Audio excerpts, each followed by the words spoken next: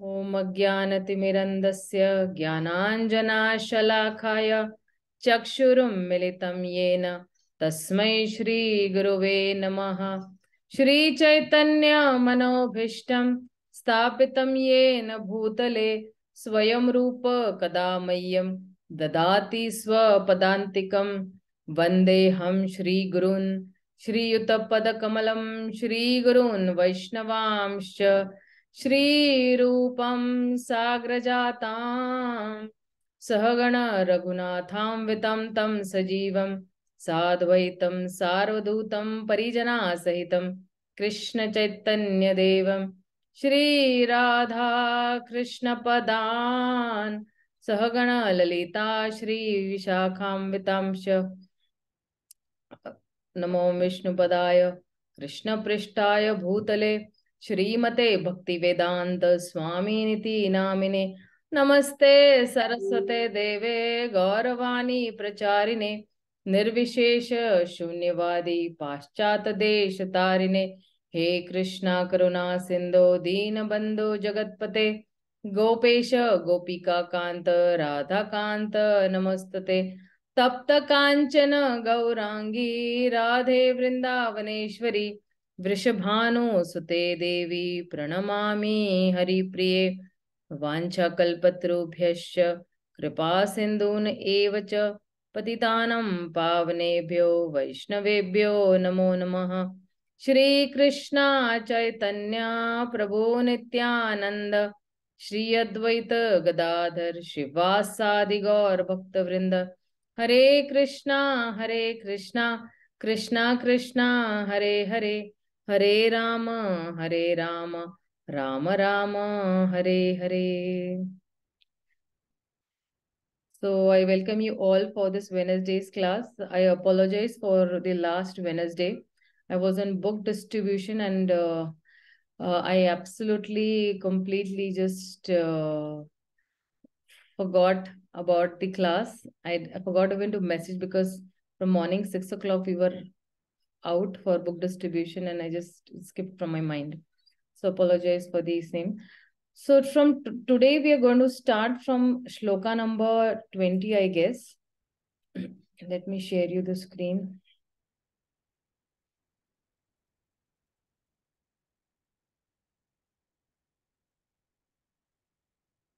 Yeah.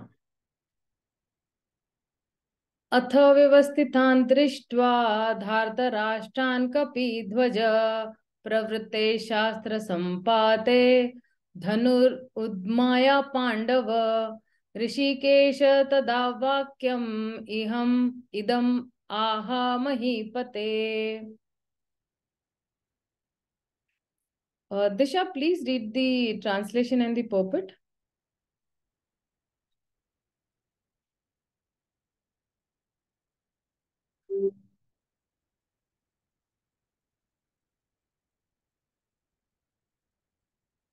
Yeah, now you can unmute yourself and read.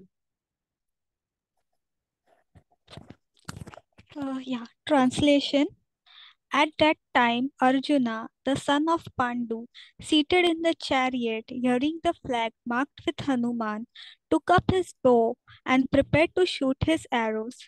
O king, after looking at the sons of Dhritarashtra drawn in military array, Arjuna then spoke to Lord Krishna these words. Purport by Srila Prabhupada. The battle was just about to begin. It is understood from the above statement that the sons of Dhritarashtra were more or less disheartened by the unexpected arrangement of military force by the Pandavas, who were guided by the direct instructions of Lord Krishna on the battlefield. The emblem of Hanuman on the flag of Arjuna is another sign of victory because Hanuman cooperated with Lord Rama in the battle between Rama and Ravana, and Lord Rama emerged victorious. Now, both Rama and Hanuman were present on the chariot of Arjuna to help him. Lord Krishna is Rama himself, and wherever Lord Rama is, his eternal servitor Hanuman and his eternal consort Sita, the goddess of fortune, are present. Therefore, Arjuna had no cause to fear any enemies whatsoever. And above all, the Lord of the senses, Lord Krishna was Lord Krishna was personally present to give him direction. Thus, all good counsel was available to Arjuna in the matter of executing the battle in such auspicious conditions arranged by the Lord for his eternal devotee lay the signs of assured victory. Hare Krishna. Yeah, thank you, Disha. Thank you so much. So over here in this uh, particular text, in this shloka text, this the atmosphere is completely surcharged. The world's most powerful Kshatriyas, uh, you know, had gathered to fight and uh, filled with, you know, spirit spirit of battle. Now, this war was differed from the situation Srila Prabhupada, you know, criticized in the 1960s when the, you know, United States drafted students and not Kshatriyas and, you know, forced them into battle.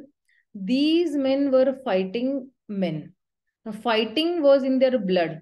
So just as devotees come to Vrindavan or Mayapur from all around the world, these Kshatriyas came from all over the world, you know, to this place called Kurukshetra to fight. And they had faith that dying on the battlefield would gain them entrance into the heavenly planets. So now the two armies were in formation. The conchs were the conchs blew the hair of the warrior stood on end in anticipation. Krishna was with Arjuna on his chariot. Now, Hanuman's, you know, uh, Hanuman decorating the chariot flag was ready to shout his war cries to help Bhima terrify the whole army. So, in uh, Mahabharat, uh, it had been described that a meeting between, you know, Hanuman and Bhima was there because once while Arjuna was uh, seeking celestial weapons, the the remaining Pandavas they were wandering around this Badrika ashram high in the Himalayas, and suddenly this Alaknanda river that is there in the Himalayas, it carried uh, you know to Draupadi a very beautiful and a fragrant thousand petal lotus flower. So Draupadi was very captivated by its beauty and scent. So she said to Bhima that Bhima, this lotus flower is so beautiful. I sh I should offer it to Yudhishthir Maharaj. Could you get me a few more? So we could take this back to the hermitage of uh, this uh, Kamya. So Bhima immediately what did he do with his gada? He grabbed and charged up the hill where uh, no mortals were permitted. And he ran and bellowed the frightened elephants and lions. So what he uprooted the trees and he pushed them aside. So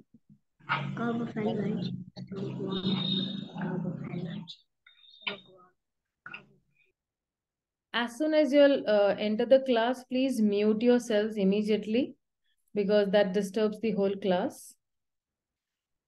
So, okay. So then, uh, then, you know, he was uprooting these trees and he pushed them aside, not caring for these ferocious beasts that were there in the jungle. And he climbed the mountain and uh, you know he he you know he was climbing mountain but then there was a very huge monkey was lying across the path.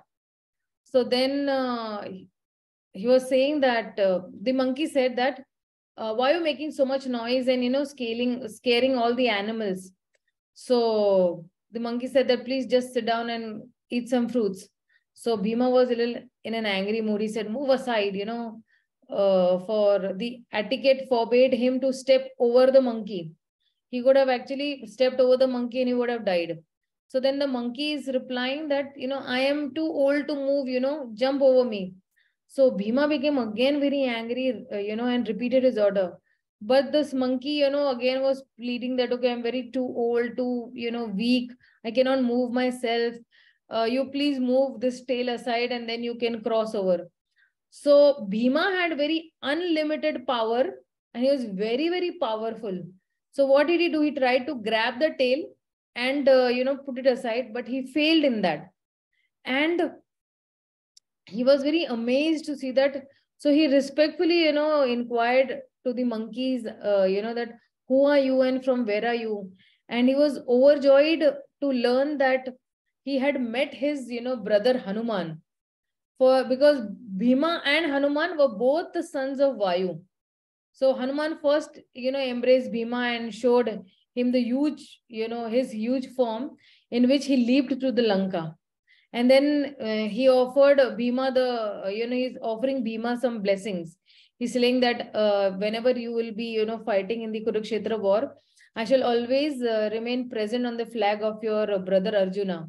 And when you roar like a lion on the battlefield, my voice will also join with yours to strike terror to the hearts of the other enemies. And you will be victorious and you will again regain back your kingdom.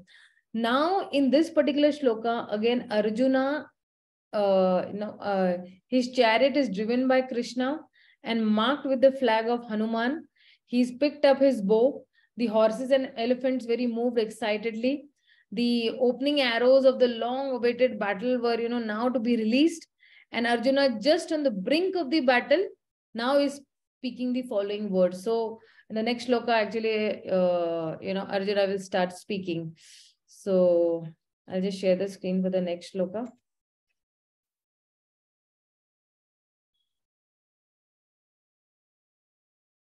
Okay. Arjuna uvacha. So this Arjuna is telling to whom? Arjuna is telling to Sri Krishna. Okay, this him. सेनयोरुभयोर्मध्ये रथं स्थापय मे अच्युता यावत् एतान् योद्धु कामान् अवस्थितान् केर्माय सह योद्धाव्यम् अस्मिन् रणसमुद्यमे So Arjuna said that, oh, infallible one. So this word over here, infallible means what? The Lord's name is Achyuta, means what? One who does not fall down from his position to give affection to his devotees. That is the meaning of, you know, Achyuta or infallible.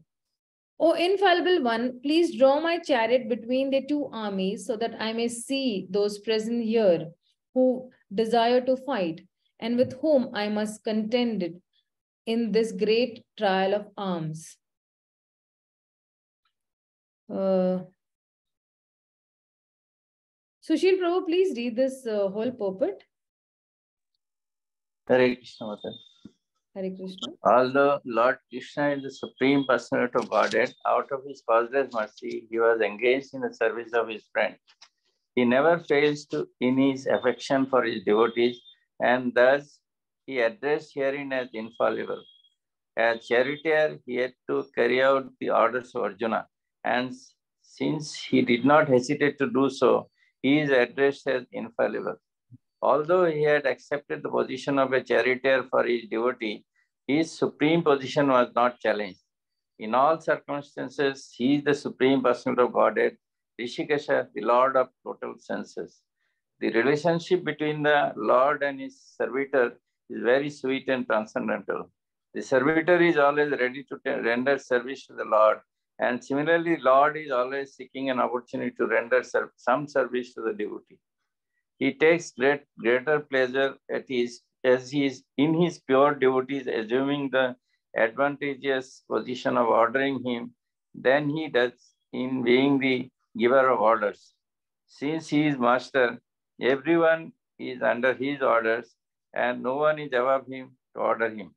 But when he finds that a pure devotee is ordering him, he obtains transcendental pleasure, although he is the infa infallible master in all circumstances. Hare Krishna Mataji, should I proceed? Yes, yes, yes, Prabhu. As a pure devotee of the Lord, Arjuna had no desire to fight with his cousins and brothers, but he was forced to come into the battlefield by his obstinacy of Duryodhana was never agreeable to any peaceful negotiations. Therefore, he was very anxious to see who the leading person present on the battlefield was. Although there was no question of a peacemaking endeavor on the battlefield, he wanted to see them again and to see how much they were bent upon demanding an unwanted work. Hare Krishna. Thank you. Thank you, Prabhuji, so much. So actually, we are going a little in details with uh, the Bhagavad Gita. So most of you all must be thinking that uh, I'm going shloka to shloka, but uh, because of the request of the devotees, we are going in detail, deep details of these texts. and I'm taking text to text. Generally, uh, most of these speakers, they will go with, uh, you know, sections of the Bhagavad Gita, but I'm going, you know, shloka to shloka in deep details. So if you see in this particular section of, uh, you know, of this particular section from starting from 21 to 27, uh, Krishna as Bhakta Vatsala or Krishna as the, uh, you know, the lover of his devotees, you could say, is being shown over here. So if I, uh, is, there is a common theme over here which says that uh, Arjuna is requesting uh, the infallible Lord, that is Achyuta, to draw his chariot in the middle. Why is he asking that please draw these chariots in the middle of the battlefield? So he wants to see who are the leading men present with a desire to fight and to please the evil-minded, you know, son of Dhritarashtra or, or Duryodhan. So over here, the meaning, the very meaning of the word Achyuta means infallible. Infall, F-A-L-L, fallible means one who never fails in affection for his devotees. And thus, he is engaged in the service of his devotees also out of his causeless mercy. Over here, he is engaged in the service of his friend. And why is he engaged in the service of uh, Arjuna? Because he is showing his causeless mercy towards Arjuna. Also, being a chauffeur or a driver of Arjuna, he did not hesitate to carry out the order of Arjuna as his charioteer. Somebody whose ego might be just puffed up, he might think that, oh, you know, I am the supreme personality of Godhead. How dare you order me? But no, because he was uh, completely, uh, you know, under the this of his devotees, so he did not mind also. He immediately took the chariot in between the two armies. Also, though he is the chauffeur or the driver of Arjuna, his position as Rishikesha or the master of the senses does not change. Or uh, the Lord as, you know, the Lord, uh, the Lord as uh, Rishikesha or the Lord of the senses, his position was not challenged. It was unchallenged. Nobody can challenge the position of Krishna. Even if he tries to challenge, then he'll be smashed. Like, for example, Indra tried to challenge his position. Brahma tried to challenge his position, but ultimately what happened? They were actually, you know, their egos were smashed. So over here now, there is a very sweet relationship between the Lord and his devotees. And the relationship between the Lord and his devotees are always transcendental. Why? Because a devotee is always eager to serve the Lord, and the Lord obtains transcendental pleasure in receiving these orders of his pure devotees. Although he is unfallible, he is the supreme master, but the Lord does not mind doing even menial, you know, jobs or work for his own devotees. So then now, some now a question might raise over here is that why Arjuna asked to move the chariot in between or in midst of the army. So Arjuna actually was firstly forced to fight against his wish because, uh, you know, Duryodhana was too much, uh, you know, obstinate that he wanted to fight. Also, Arjuna was anxious to see, uh, you know, who were the leading men present with a desire to fight and to please Duryodhan because uh, they say no that the birds of the same feather flock together. Also uh, he wanted to see how much they were bent upon fighting. Because initially krishna went with a peace messenger. He went as a peacemaker but they did not want to you know make peace and they did not want to give any a land as equal as the tip of a needle also so they were pretty much bent on fighting also and also, whenever you are on the battlefield, you want to estimate the strength.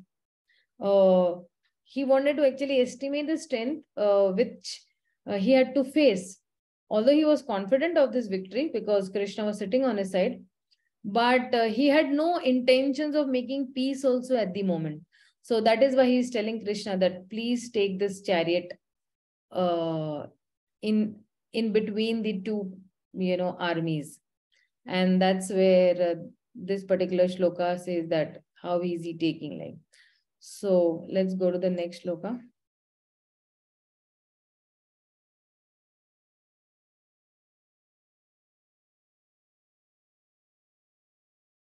योत्स्यमानान् वेक्षेऽहम् एते अत्र समागत धार्तराष्ट्रार्दुर्बुद्धेर्युद्धे प्रियचिकीर्षव Let me see those who have come here to fight, wishing to please the evil-minded son of Dhritarashtra. So, who will read this translation? Uh, Ravi Chabra Prabhu, uh, please read this purport. Yes, I am there. Thank you. Yeah, read this purport, Prabhu. Yeah, on the screen, please read this purport, Ravi Chabra Prabhu. I'm not having my specs, so difficult for me to read. Ah, oh, okay, okay. I'm sorry. I'm sorry. I did not know that. Um, Sonal Pawar, are you there? Or you can read the purport.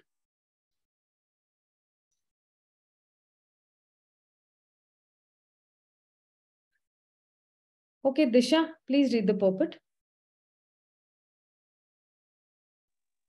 Hare Krishna. Uh, purport by Srila Prabhupada. It was an open secret that Duryodhan wanted to usurp the kingdom of the Pandavas by evil plans in collaboration with his father Dhritarashtra. Therefore, all persons who had joined the side of Duryodhan must have been birds of the same feather. Arjuna wanted to see them on the battlefield before the fight was begun just to learn who they were, but he had no intention of proposing peace negotiations with them. It was also a fact that he wanted to see them to make an estimate of the strength which he had to face, although he was quite confident of victory because Krishna was sitting by his side. Hare Krishna. Yeah, thank you. Thank you so much. So, uh, yeah, over here, I've just discussed these points where, uh, you know, he wanted to estimate the, this. Now, after Arjuna took, told Krishna to take uh, the two chariots on in between the two armies, now over here in this particular shloka, Sanjay, who's sitting in the palace, is now going to give a running commentary, actually, live commentary that what is happening. So now what is Sanjay saying? Let's see. Sanjay उवाच एवं मुक्तो ऋषिकेशो गुडकेश न भारत सेनयोरुभयोर्मध्ये स्थापयत् स्थापयित्वा रथोत्तमा Translation Sanjay said, O descendant of Bharata, having thus been addressed by Arjuna, Lord Krishna drew up the fine chariot in the midst of the armies of both the parties. Sushil Prabhu, please read this purport. If anybody would like to read the purport, you all can raise your hands. We'll give you a chance to read, okay? In Yeah, these verse, sorry, Master. Yeah, you can go ahead, Prabhu. Yes, go ahead. In these verse, Arjuna is referred to as Gudikesha. Gudika, Gudaka means sleep, and one who conquers sleep is called Gudakesha. Sleep also means ignorance. So Arjuna conquered both sleep and ignorance because of his friendship with Krishna. As a great devotee of Krishna, he could not forget Krishna even for a moment because that is the nature of a devotee. Either in the waking or in sleep, a devotee of Lord can never be free from the thinking of Krishna's name, form, qualities, and pastimes.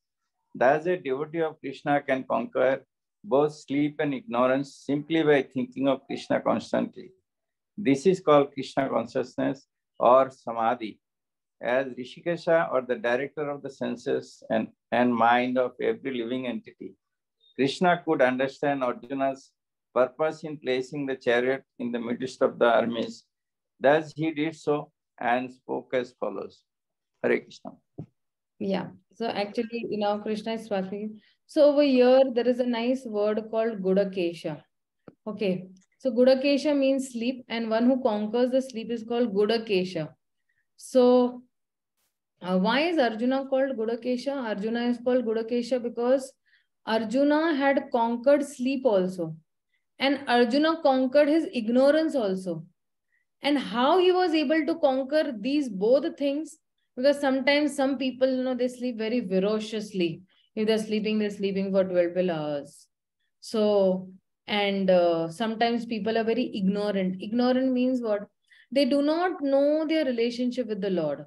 They do not know who i am and what is the purpose of my life or where did i come from or where do i have to go so they are completely ignorant about themselves also and they are completely ignorant about the supreme lord and the relationship between them and the supreme lord.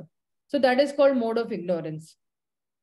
So now any person who has conquered his sleep and who has conquered the mode of ignorance and moved towards the mode of goodness and who has made friendship with krishna now he is he is eligible to call a very very good devotee and he can make friendship with krishna also he can be friends with krishna also he can be very intimate with krishna also so now over here though Arjuna is a great devotee of Krishna, uh, he could not forget Krishna for a moment. Why?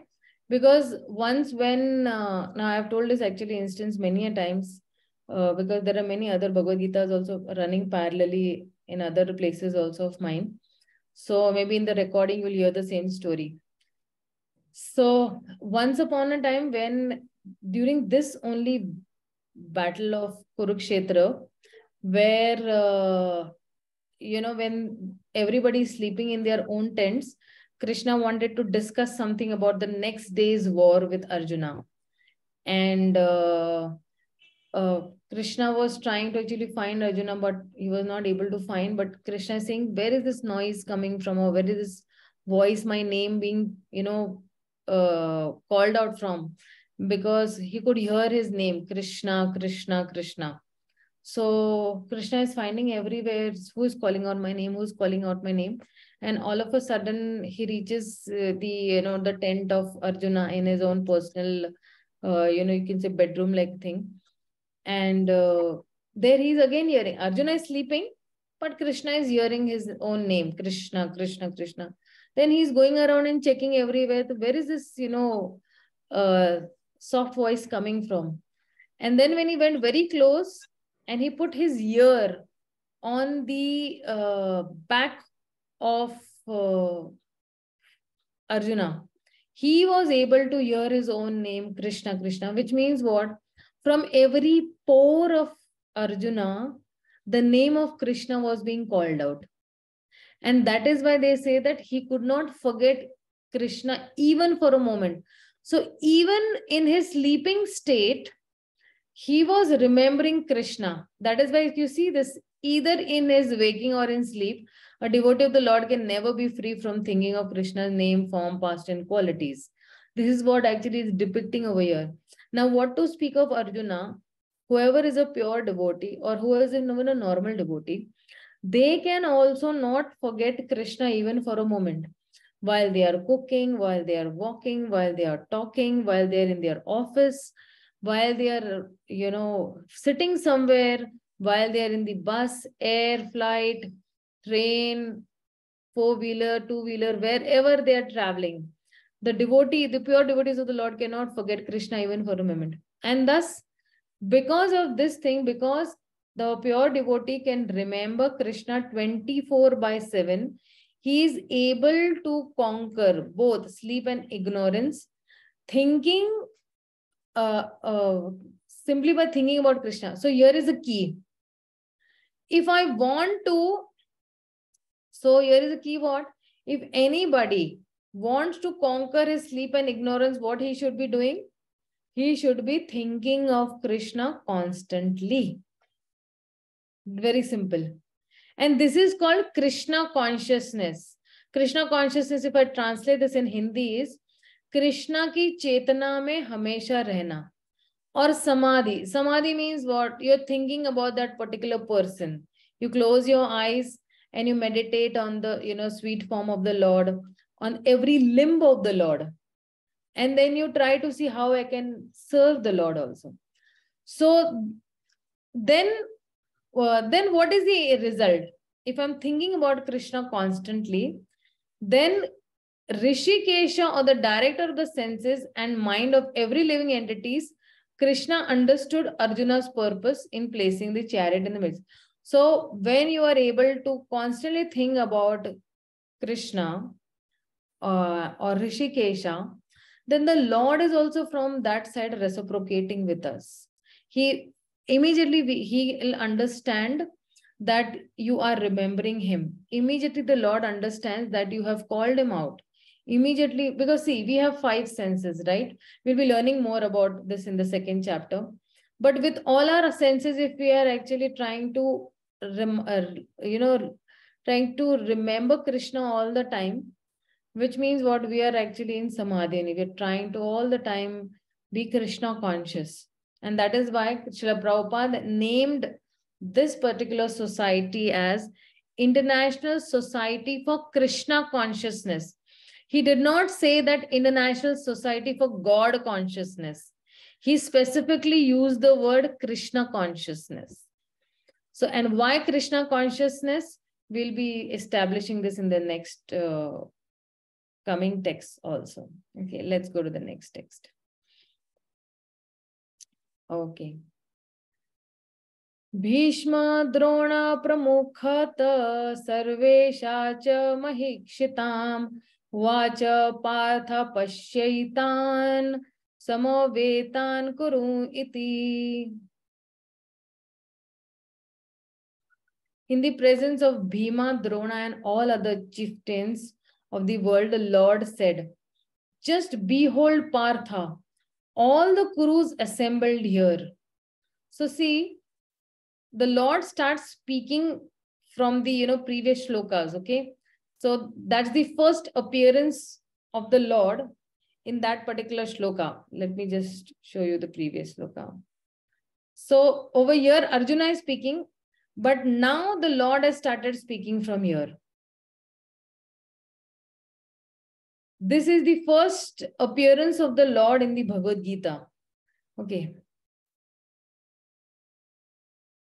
all the super soul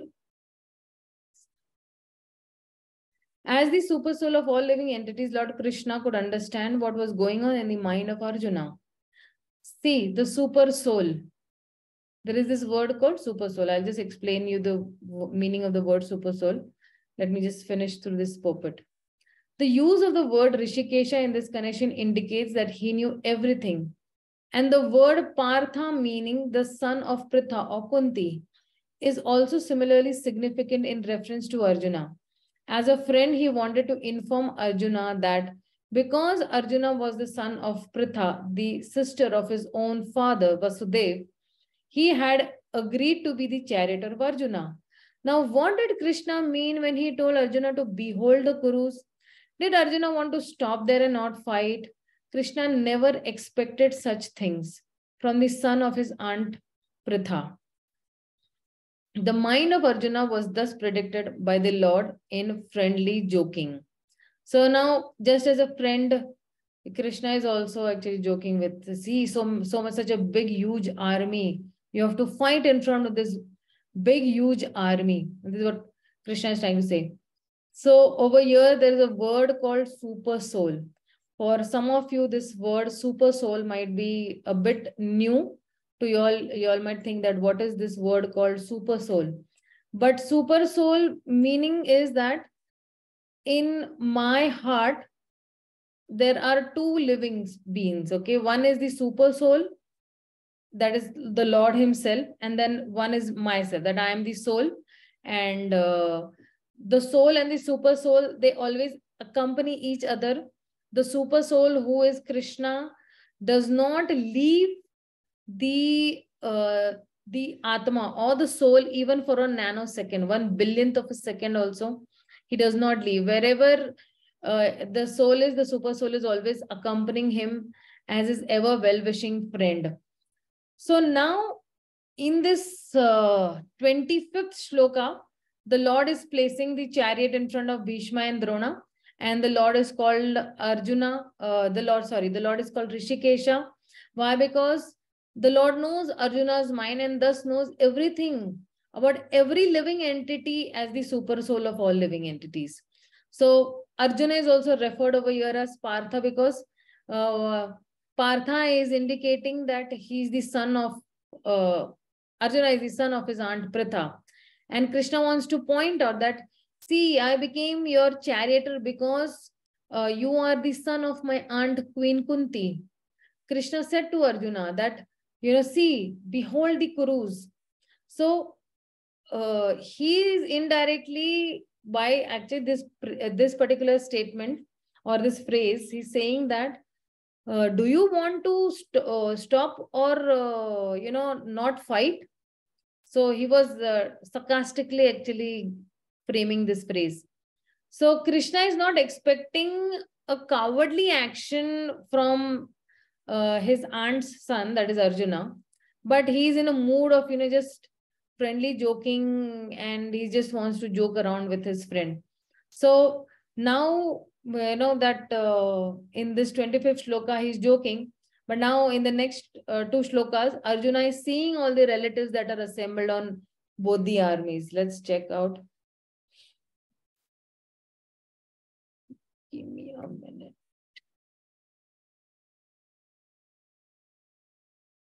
Oh, what exactly happened? I just lost the screen.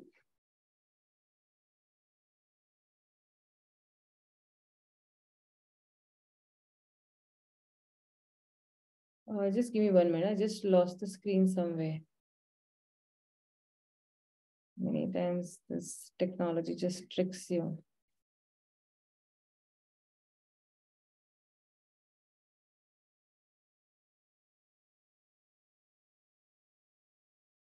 Ah, there it is. Okay. Okay.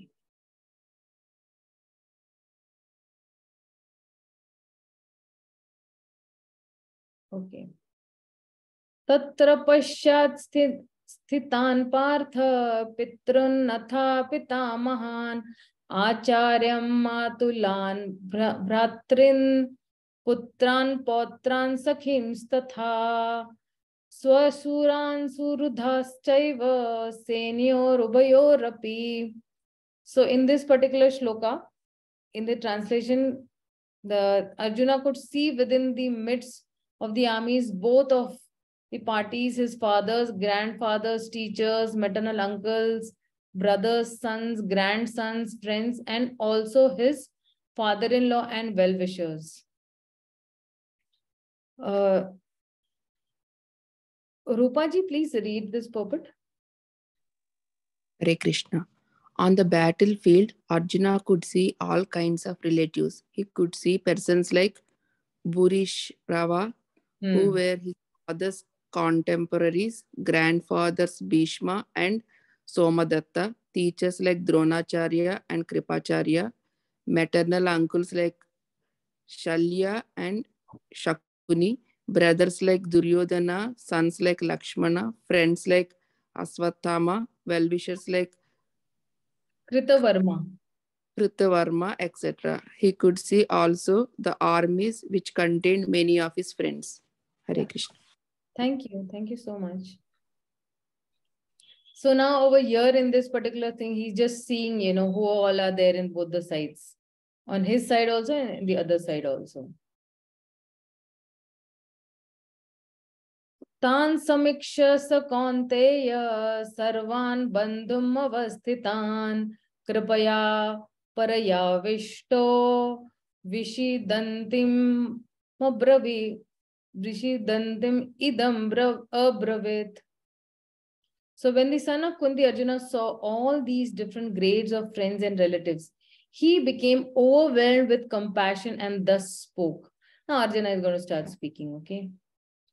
So from here, this particular text, that is the 28th text, now Arjuna starts speaking. Now he's into a dilemma, okay? So there is a lot of suspense coming in that will he fight, will he not fight? So Arjun Uvacha Trishtam Evam Swajanma Krishna Yuyuts Yuyutsum Samupastitam Siddhanti Mama Gatrani Mukham Cha Parishushati Arjuna said, My dear Krishna, seeing my friends and relatives present before me in such a fighting spirit, I feel the limbs of my body quivering and my mouth drying up. So Arjuna is completely in a dilemma over here. Somebody else would like to read this purport? Anjusha or Archana, anybody would like to read this? Anjusha, read. Yes, Mataji. Hare Yes.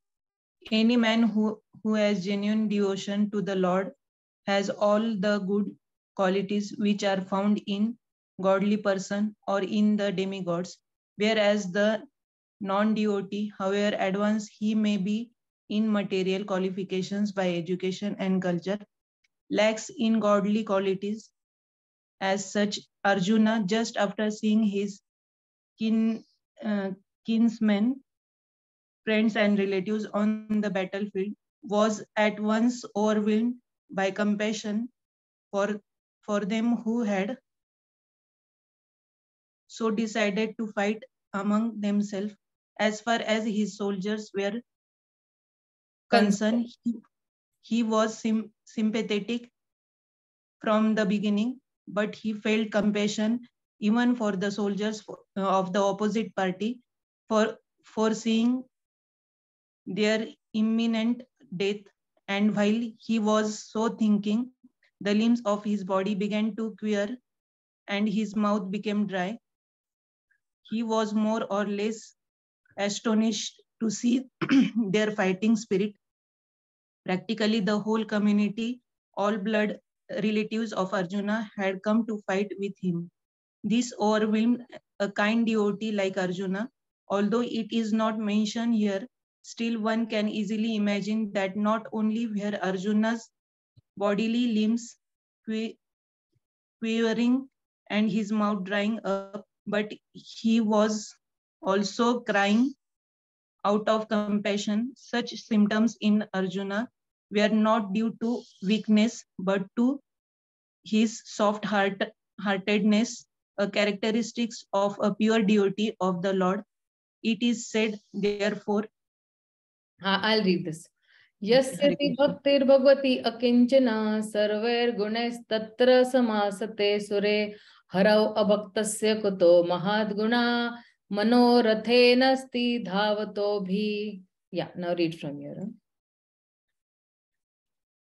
read from here one who has unflinching devotion for the personality of godhead has all the good qualities of the demigods but one who is not a devotee of the lord has only material qualifications that are of little value this is because he is overing, overing on the mental plane and is certain to be attracted by the glaring material energy. Yeah, thank you so much. Thank you, thank you. Hare Krishna. So this particular uh, shloka that is there, that Arjuna is actually uh, speaking over here. He says that, uh, you know, I'm seeing now he's become very weak, okay, from this particular 20th shloka he is seeing all his relatives, all his kingsmen, he's seeing everybody. He's seeing, uh, you know, his grandfather also, he's seeing everybody, teachers, brothers, friends, you know, those who are his friends also, those who are his enemies, he's seeing everybody. So from this particular shloka, Arjuna will be giving five arguments not to fight this particular battle. And what are those five arguments? The first argument that he'll, you know, he's making that firstly, he'll have compassion. And because of compassion, he says, I don't want to fight. The second one, he's saying that loss of enjoyment. That what is the use of me fighting when, you know, after killing so many people, I will not have any enjoyment.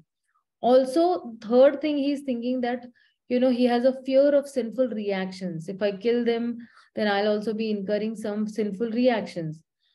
Uh, the fourth thing he's thinking that there will be a lot of uh, destruction in the family traditions that there'll be Varna, Varna Shankaras born or, you know, every, you know, all these men, their wives will become widows and all. And the last thing he was he was having indecision. He was indecisive that he did not he did not uh, know what to do, whether I should fight or whether I should quit the battle.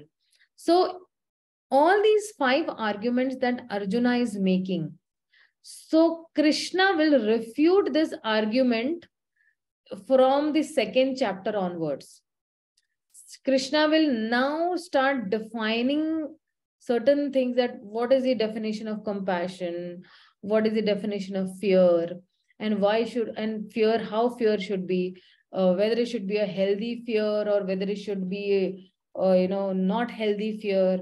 So, in this particular uh, text, if you see, uh, there are nine signs of compassion that Arjuna is exhibiting. Just give me. So nine uh, signs of compassion Arjuna is exhibiting. And what is he exhibiting? Firstly, his limbs are quivering. Means what? Kampan ho rahi hai. उसके सारे शरीर में कंपन हो रही है he's he's trembling or uh, you know he's you know uh, he's in in a dilemma sort of okay then his mouth is drying up his whole body is shaking, trembling. His hair is standing on the end. His hands, his Gandiva bow is slipping from his hand. And you know, his skin is burning. His legs, he's because of impatience, uh, you know, his legs are also not able to stand any longer. And in that, in all these dilemmas, what is he doing?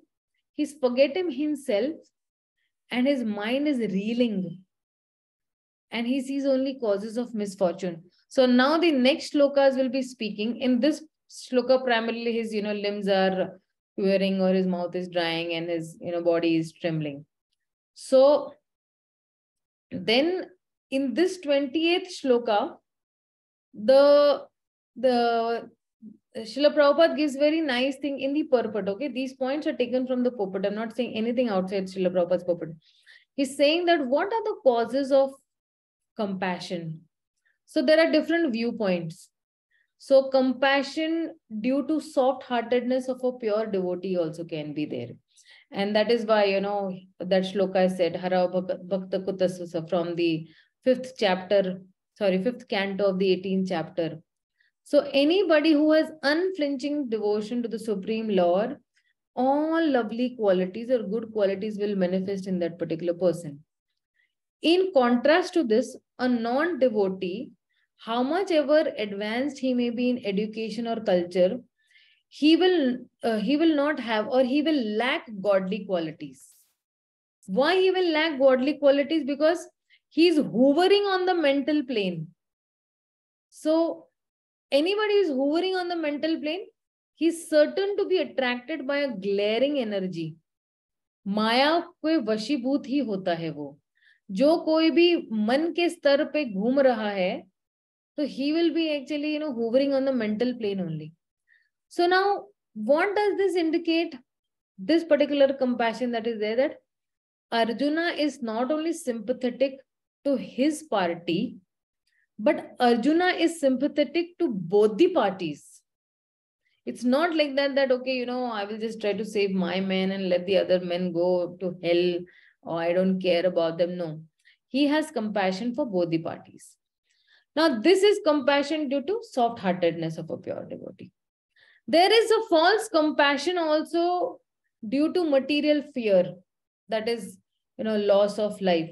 So in the subsequent, the, the, the next shloka, we will see that uh, uh, he has a very, uh, you know, material conception of life and uh, false compassion uh, will, because of material fear, uh, will actually always give you impatience because he was not able to stay on the battlefield. Weakness of mind, why weakness of mind? When the mind is weak, you forget your own self in the sense that you forget that who am I, from where have I come, and what is my relationship with the Lord.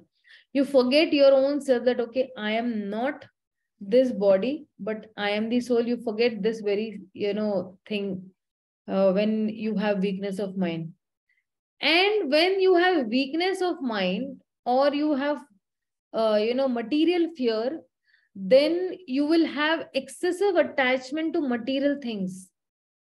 भौतिक चीजों में बहुत अघाड़ आसक्ति है आपकी and this is putting a man in such a bewildered condition because if somebody is too much attached so about attachment we'll be seeing in the you know second uh, chapter also of the bhagavad gita that where krishna is uh, giving the solution that if somebody is too attached to something how he can be detached from certain things so now this particular material attachment puts a person into a bewildered condition and uh, that is why uh, there is a a false compassion and there is a true compassion.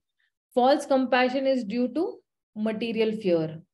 And true compassion is because of the soft heartedness uh, of a devotee, of a pure devotee. So let's let's go and see the next shloka.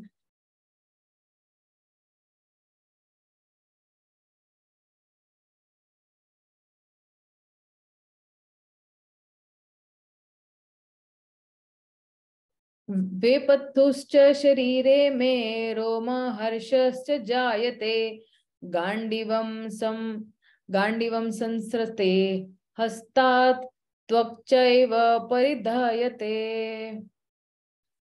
My whole body is trembling, my hair is standing on end, my bow Gandiva is slipping from my hand, and my skin is burning. There are two kinds of trembling of the body and the two kinds of standing of the hair on end. Such phenomena occur either in great spiritual ecstasy or out of great fear under material conditions. There is no fear in transcendental realization. Arjuna's symptoms in this situation are out of material fear, as I discussed, namely loss of life. And this advent from other symptoms also, he became so impatient that his famous bow Gandiva was slipping from his hands and because his heart was burning within him, he was feeling a burning sensation of the skin all. All these are due to material conception life.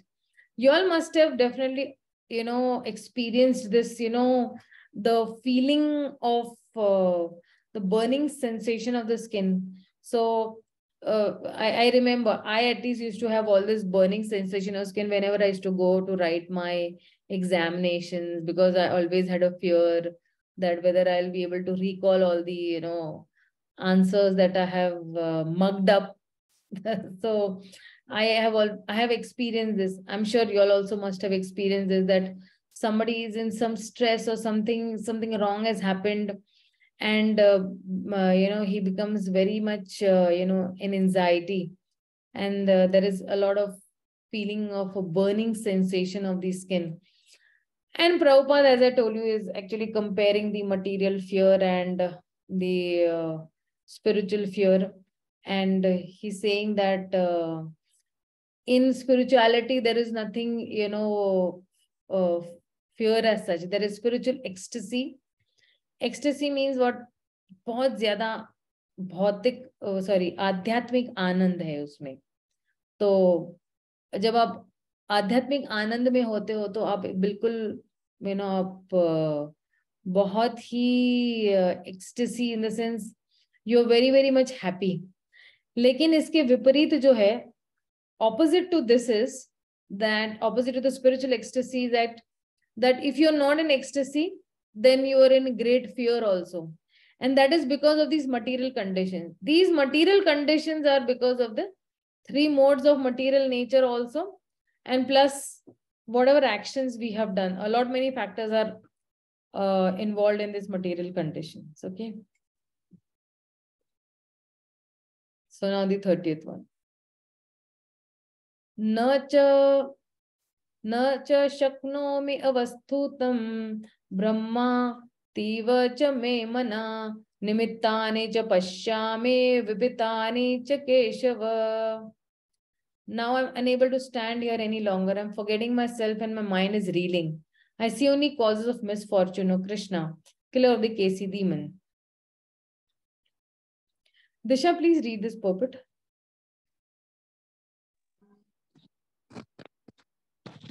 Purport by Srila Prabhupada. Due to his impatience, Arjuna was unable to stay on the battlefield and he was forgetting himself on account of this weakness of his mind. Excessive attachment for material things puts a man in such a bewildering condition of existence. Bhayam dvitya abhiniveshata. Uh, Bhagavatam, uh, Canto 11, Chapter 2, Text 37. Such fearfulness and loss of mental equilibrium take place in persons who are too affected by material conditions. Arjuna envisioned only painful re- reverses in the battlefield. He would not be happy even by gaining victory over the foe. The words nimittani vipari- viparitani are significant. When a man sees only frustration in his expectations, he thinks, Why am I here? Everyone is interested in himself and his own welfare. No one is interested in the Supreme Self. Arjuna is showing ignorance of his real self interest by Krishna's will. One's real self interest lies in Vishnu or Krishna. The conditioned souls forgets this and therefore suffers material pains. Arjuna thought that his victory in the battlefield would only be a cause of lamentation for him. Hare Krishna. Yeah. We'll just conclude with this particular shloka, and if somebody has any doubts, we'll just solve them out. So, in this particular uh, shloka, if you see, there are many, many, uh, you know, vital points discussed in this particular shloka. So, uh, over here, in this particular 30th shloka, what they are saying is, just give me a minute, okay? I'm just trying to figure out. Oh, am I on the normal mode or what? Okay, videos off by mistake. Okay, in this particular 30th shloka, what they're trying to say over here in this shloka is that uh, he says that the causes of fearfulness. So he says, Bhayam Dvitiya Abhinivesha Syata. So uh, such fearfulness or loss of equilibrium takes place in a person which is too much affected with material conditions. So that is why you will have fear.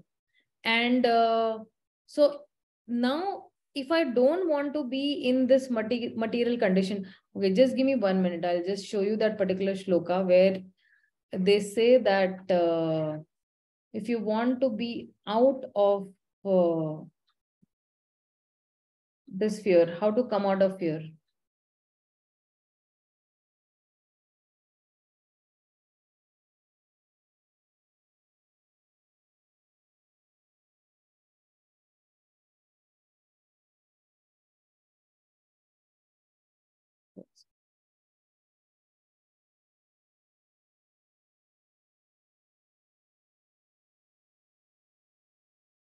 It was 11 to 37, right? Yeah. You're able to see the screen? No, okay. I'll just share the screen. Okay, so he says over here, let's read the translation. He says, Fear arises when a living entity misidentifies himself as the material body because of absorption in the external illusionary energy of the Lord. When the living entity thus turns away from the Supreme Lord, he also forgets his own constitutional position as a servant of the Lord.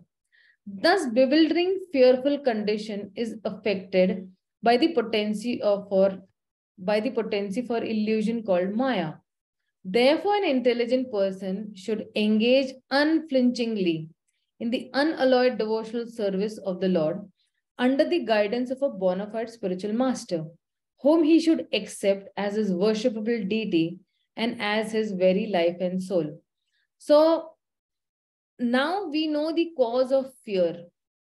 That when I'm misidentifying myself with the body, then I'm always fearful. But opposite to this, if I am, I am uh, rendering unflinchingly. Unflinchingly means what? With full faith. I am executing service to the Lord or I am serving the Lord under the guidance of a spiritual master, then I do not have any fear. And that is why, if you see in the Bhagavatam, that it says uh, in the first canto, seventh chapter, seventh shloka, or yeah, seventh shloka. Yasya Vaishrunamayanam Krishna Param Purushe Bhaktir Utpadate Pumsa Shoka Moha Bhayapaha.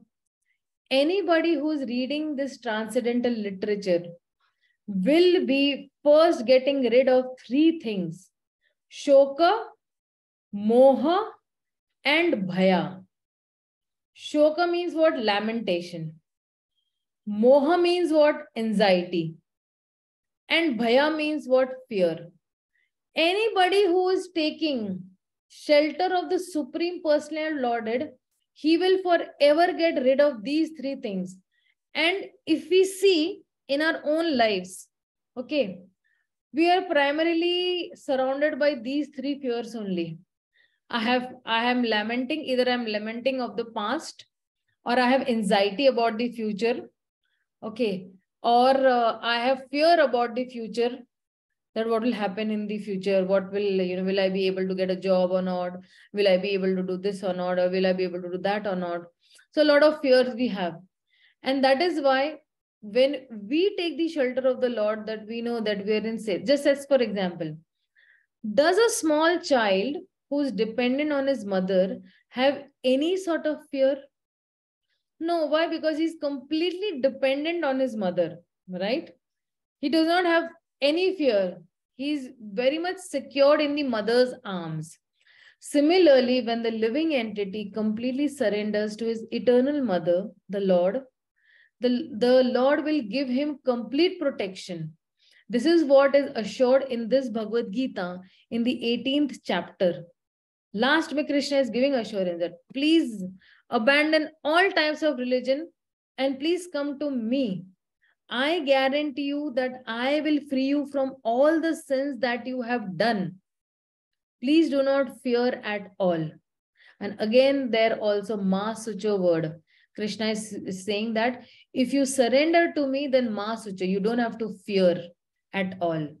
So this is what uh, is the meaning of this particular shloka. Anybody has any doubts, queries or any reflections you all want to share, you all are most welcome to share. Hare Krishna Mataji. Yes, Mataji. Uh, I have a doubt between, as you said in the shlok 25, super soul and soul, about the Lord Himself and our Atma. Yes, yes. So super soul accompanies our soul everywhere. Yes. So what happens when we are on the deathbed or we are dying? That time also the super soul is there with you.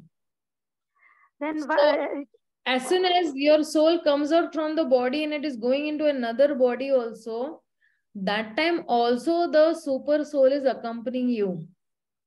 That's why I said that super soul does not leave you even for one billionth of a second. One nanosecond also the the super soul will never leave you. okay. Yeah, got your got. Thank you so much, ma'am. Yeah. Thank you. Any more questions anybody has? Hare Krishna Mataji. In today's class, you mentioned about uh, Indra and Brahma, how Krishna has uh, uh, uh, uh, taken out their ego.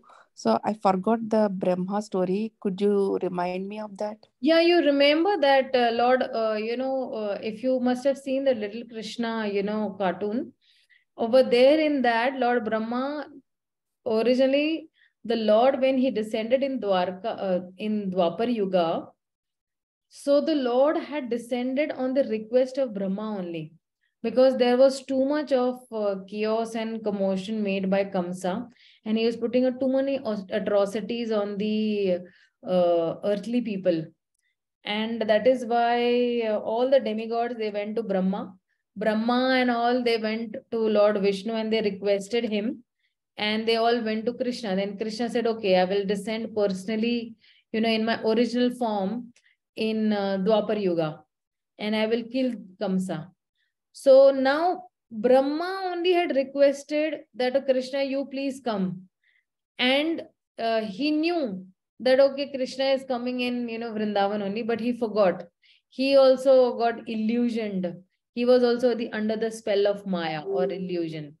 So then he's thinking, okay, how is this uh, little boy who is eating with his friends and he's eating the remnants, unka jhuta kha raha hai. He cannot be the Supreme Lord. So then he tries to test the Supreme Lord. And uh, he, you know, you know that that story that uh, then he actually, you know, steals the calves and cowherd boys of uh, Brahma. Brahma tries to steal the cowherd boys of Krishna. And only Krishna is left.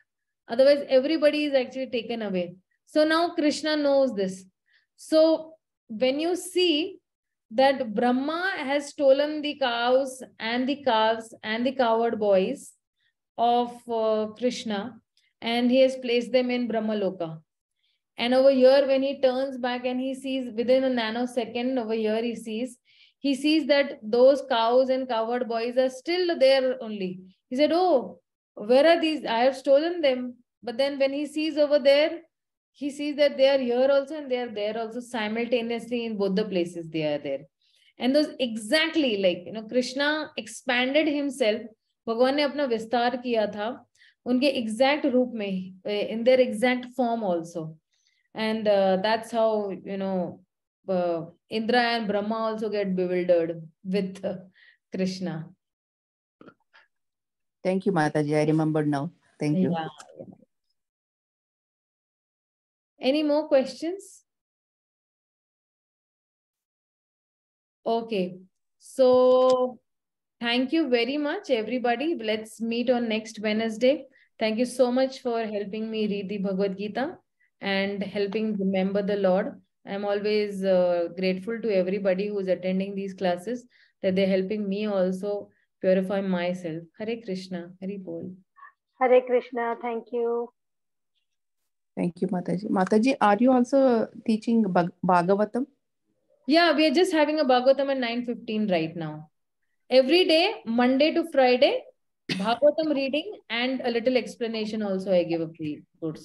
So you want to join in that group, you just put me a personal message on the same Bhagavad Gita group. I'll add you in the Bhagavatam reading group also. The ID remains the same for all my classes.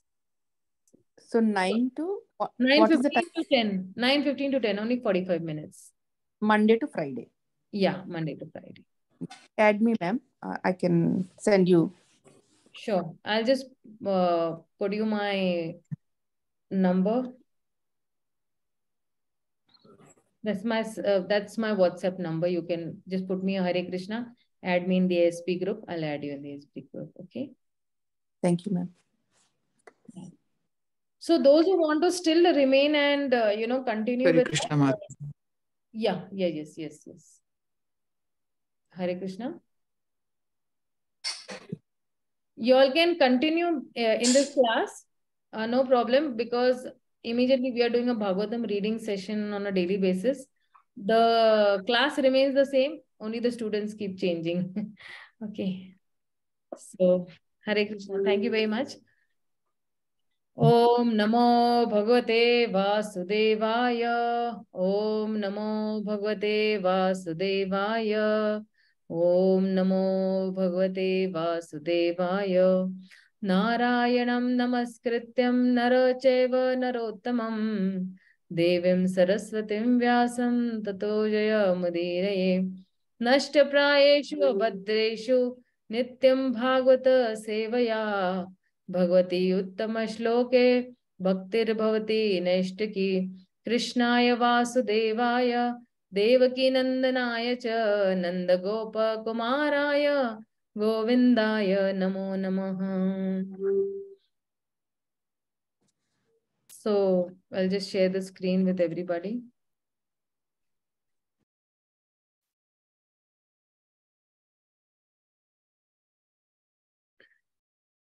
We had halted over here, Disha, yesterday. Yes, Mataji. Text 48. Uh, we have to begin with text 48. Yeah, yeah, yeah. Just give me one minute, okay? I'll just put a reminder for the others also. They might be thinking that there's no class.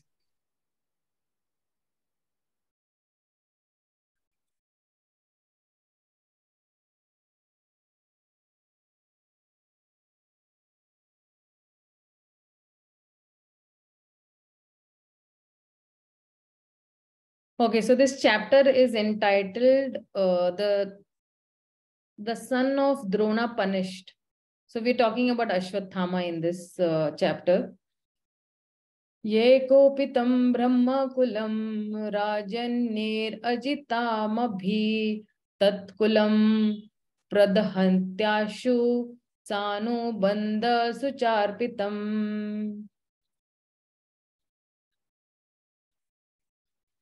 So who will read? Vaishnavi, please do the opening, translation and purport. Yes, Mataji. Translation: If if the uh, if the kingly administrative order, being unrestricted incense control, offends the Brahmana order and enrages them, then the fire of that rage burns up the whole body of the royal family and brings grief upon them all. Purport The Brahmana order of society or the spirituality advanced caste or community and the members of such highly elevated families were Mataji, Yeah, now you're able to see? Were always held. no,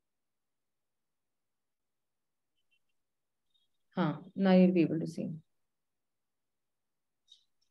Okay, I'll just read. Were always held in great esteem by the other subordinate caste, namely the administrative kingly order, the mercantile order, and the laborers. So in this particular thing where they're saying that, uh, you know, just a general description of the Brahmanas, the Kshatriyas, and they're given that Brahmanas hold a very higher uh, status. Then come the Kshatriyas, then the Vaishyas, and then the Shudras.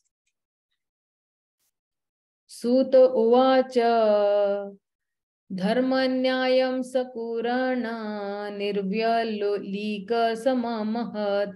Raja धर्मसुतो राज्ञ प्राधान्याद्वचो द्विविज द्विजः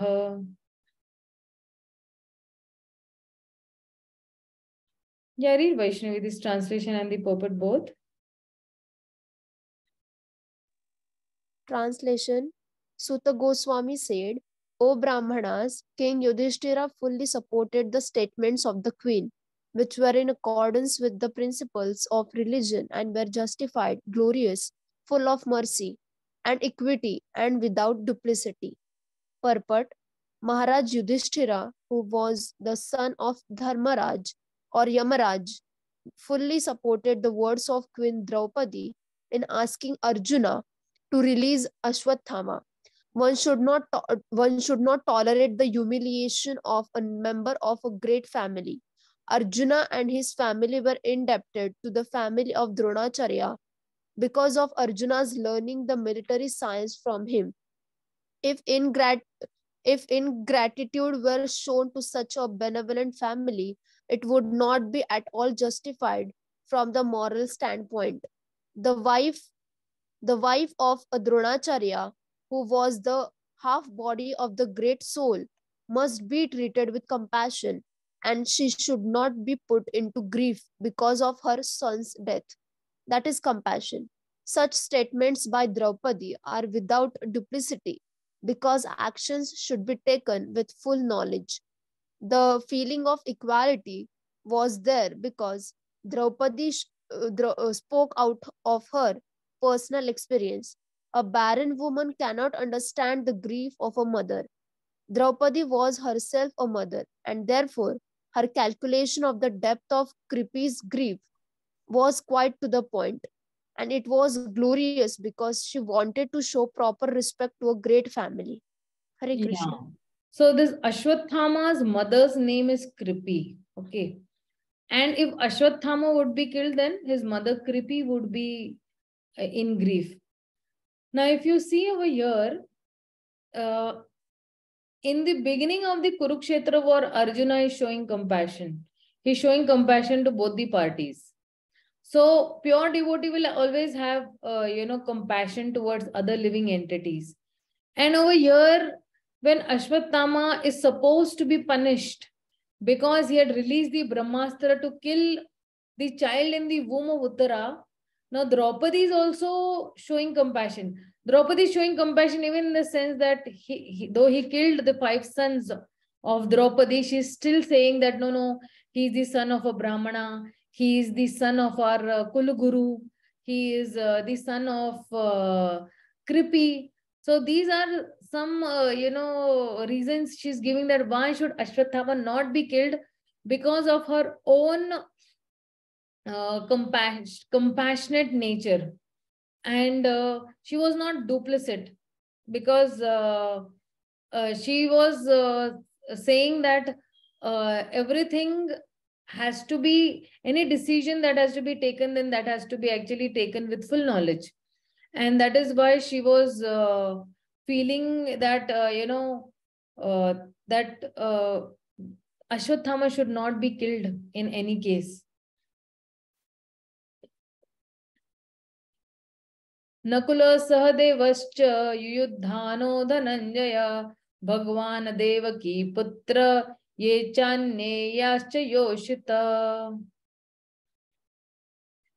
Nakula and Sadev, the younger brothers of the king, and also Sat Satyaki, Arjuna, the personality of Godhead, Lord Sri Krishna, son of Devki, and the ladies and all others, all unanimously agreed with the king.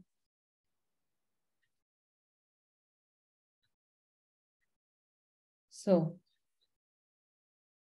तत्र तत्र हम शिरतो भीष्मस्तस्य श्रेयान् वद स्मृत न भ्रातुर्नातं नातमनश्चार्थे योहान् सुप्तान् शिशून् वृथा Bhishma, however, angrily disagreed with them and recommended killing this culprit who has murdered sleeping children for no purpose and for neither his nor his master's interest. So Bhishma was very angry. He, he said that, you know, this culprit should be killed. Draupadi is saying that he should not be killed, but Bhima is saying that he should be killed. Now let's see what the others have to say. Nishamya Bhima Gaditam द्रौपदश्च चतुर्भुज आलोक्य वदनं सख्युर idam ahahasan iva. so Chaturbhuja, the four-armed or the personality of Godhead, after hearing the words of Bhima, Draupadi and others, saw the face of his dear friend Arjuna and he began to speak as if smiling.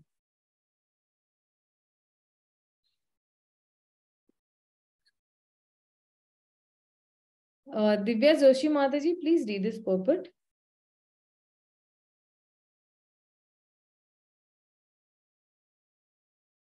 Uh, Divya Joshi माताजी आयु दे. Matangi Mataji are you feeling well are you able to reach today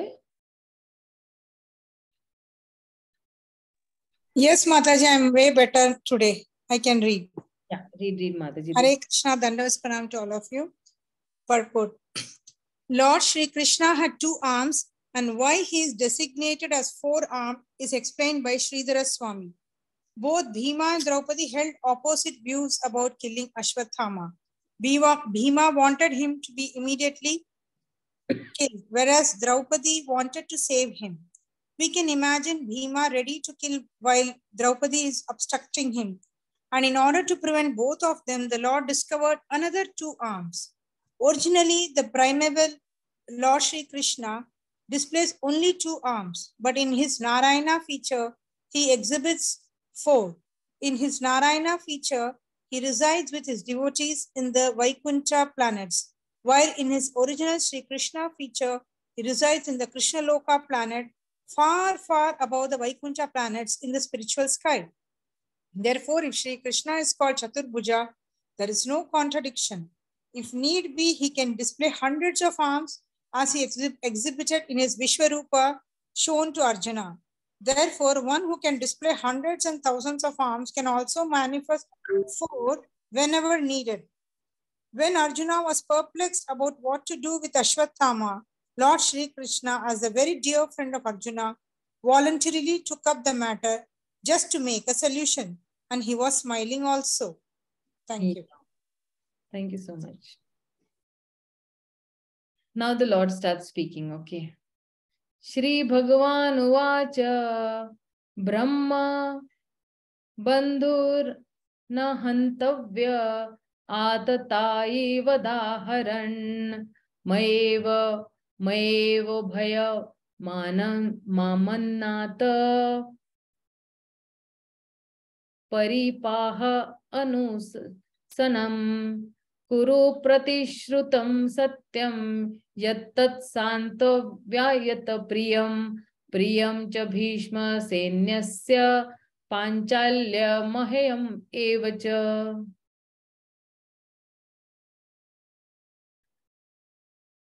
So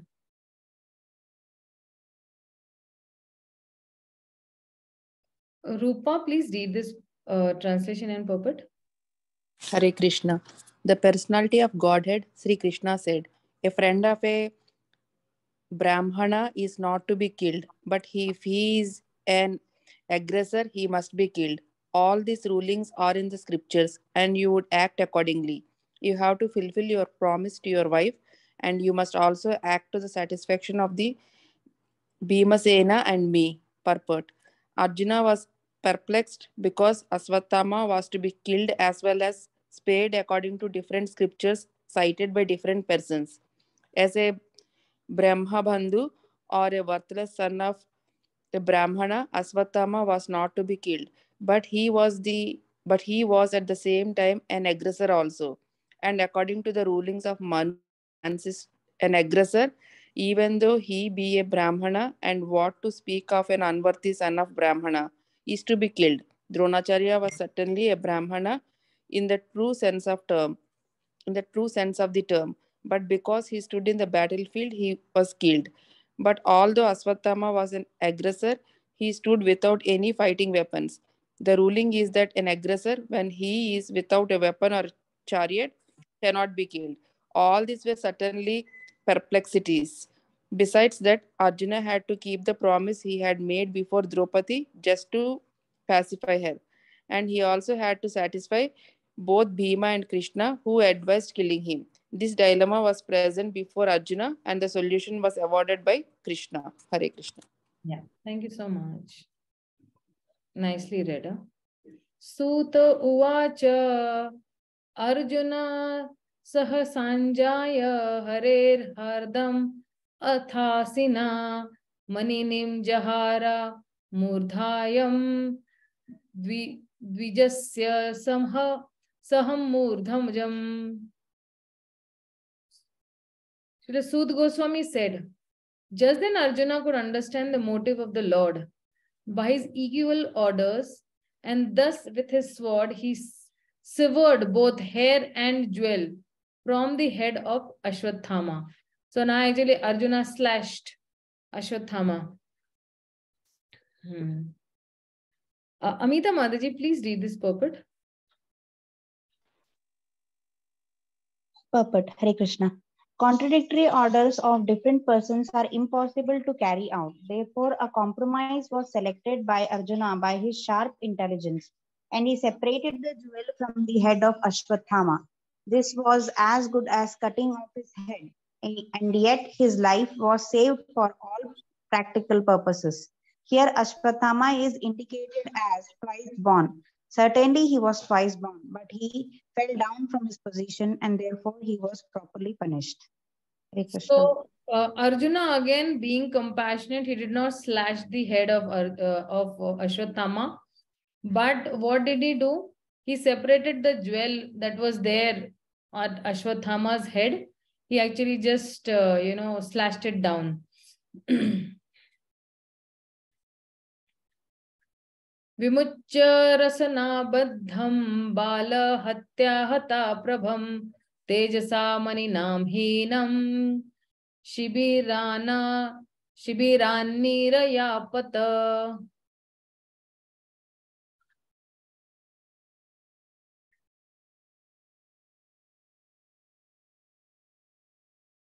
Shiva Prabhu, please read this translation and purport.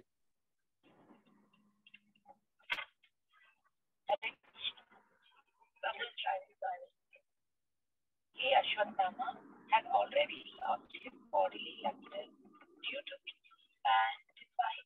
Uh, we are not able to hear you. Uh, we are not able to hear you. Translation He, Ashwatthama, had already lost his bodily luster due to infanticide, and now, moreover, having lost the jewel from his head, he lost even more strength. Thus, he was unbound and driven out of the camp. Purport. Thus, being insulted, the humiliated Aswatthama was simultaneously killed and not killed by the intelligence of Lord Krishna and Arjuna. Yeah, thank you so much. Thank you. वपन्नद्रविणादानं स्थानं नीरा नाम तथा एष हि ब्रह्म बन्धूनां वधो न्यान्योस्थितदैहिक।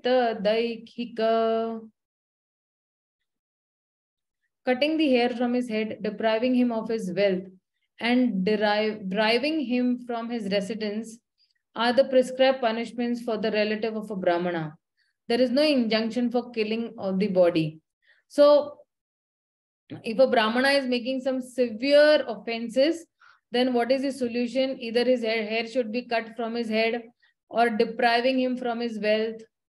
You know, you, his wealth should be taken away and, you know, distributed to the poor or driving him for his uh, from his residence means what you can just push him out of his residence and maybe he could be you know pushed somewhere else are the prescribed punishments for the uh, the relative of a brahmana so, this punishment is there in the shastras. पुत्र शोकातुरा सर्वे पांडवा सह कृष्णया स्वानामृतन स्वानामृतानां यत् कृतयां चकुर्निहरनादिकम्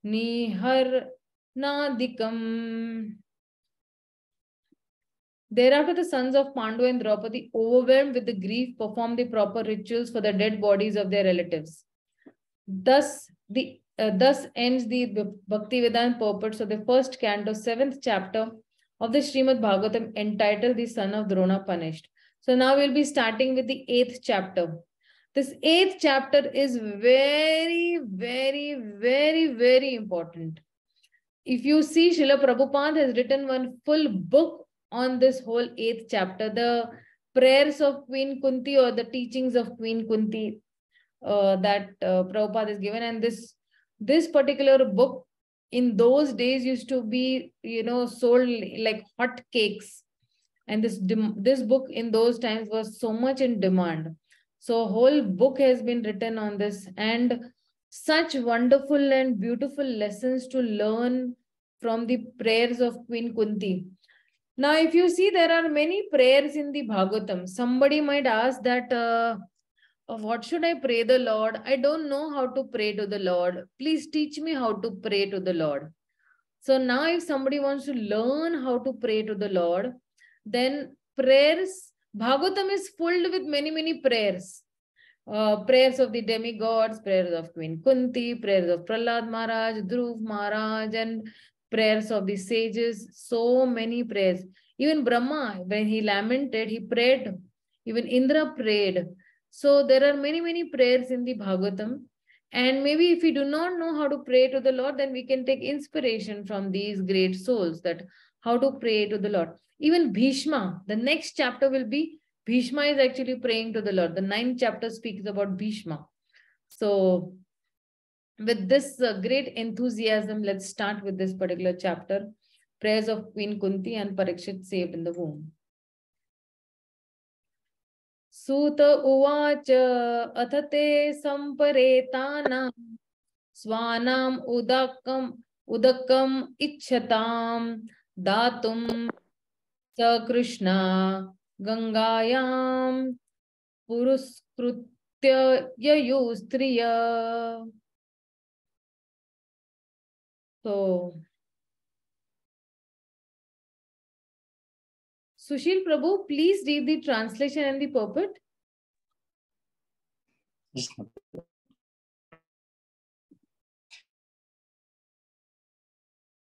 Translation. So Ah, Prabhu, we cannot hear you. Referring to that, they went to the Ganges with Draupadi. The ladies walked in front. Purport. Today, it is custom in Hindu society to go to the Ganges or any other sacred river to take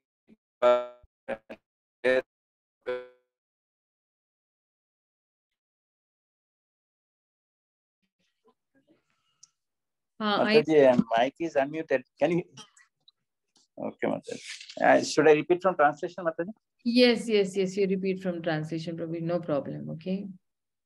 translation, Suta Goswami said, Thereafter, the Pandavas, desiring to deliver water to the dead relatives who had desired it, went to the Ganges with Draupadi. The ladies walked in the front. Purport Today, it is custom in Hindu society to go to the Ganges or any other sacred river to take bath when death occurs in the family. Each of the family members pours out a pot full of the, of the Ganges water for the departed soul and walks in a procession with the ladies in the front. The Pandavas also followed the rules more than 5,000 years ago. Lord Krishna, being a cousin of the Pandavas, was also amongst the family members. Thank you, Prabhuji. Thank you so much. In between your mic get a little, uh, you know, disturbed. It's possible, Mataji. It is actually mobile, Mataji. Ah, okay, no problem, Prabhu. ते सर्वे विलप्य च भृशं पुनः आलुप् आप्लुता हरिपादा हरिपादा जा राजः पुता जले having lamented over them and sufficiently offered Ganges water. They bathed in they bathed in the Ganges, whose water is sanctified due to being mixed with the dust of the lotus feet of the Lord. तत्रासीन् Kurupati धार्तराष्ट्र सहानुजं Gandhari पुत्र शोकार्था पृथा कृष्णा च Madhav Vrinda, please read this translation and purport. Yes, ma'am. Translation. There sat the king of the Kurus, Maharaj Yudhishthira, along with his younger brothers and Dhritarashtra, Gandhari, Kunti, and Draupadi, all overwhelmed with grief. Lord Krishna was also there. Purport. The battle of Kurukshetra was fought between family members, and thus all affected persons were also family members like Maharaj Yudhishthir and brothers and brothers Kunti's Draupadi, Subhadra, Dhritarashtra, Gandhari, and her daughter-in-law, etc. All the principal all the principal dead bodies were in some way or other related with each other, and therefore the family grief was combined. Lord, Lord Krishna was also one of them as a cousin of the Pandavas and nephew of Kunti, as well as a brother of Shubhadra, etc. The Lord, therefore, was equally sympathetic towards all of them, and therefore he began to pacify them uh, befit, befittingly. Yes, correct. Yeah. So now the Lord is actually, you know, uh, sympathetic and he's pacifying all the Pandavas. Because obviously he's related to the Pandavas, he's trying to pacify them. Santavayam आसमुनिभिर्हता बन्धुन् सुचार्पितान् भूतेषु कालस्य गतिं दर्शयान्न प्रतिक्रियाम्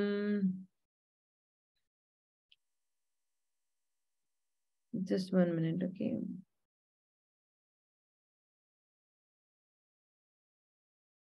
Oh, this is a long purport. We'll just divide this into.